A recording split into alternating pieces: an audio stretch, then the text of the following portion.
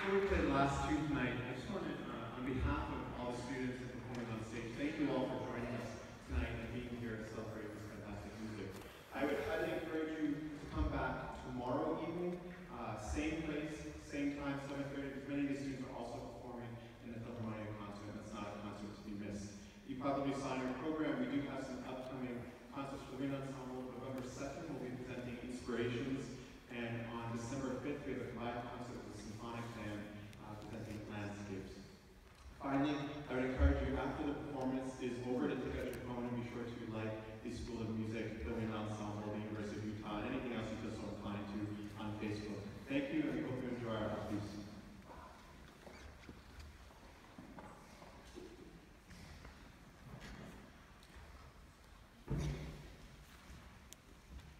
What's that red thing that that guy's playing on the end? It's a contrabassoon.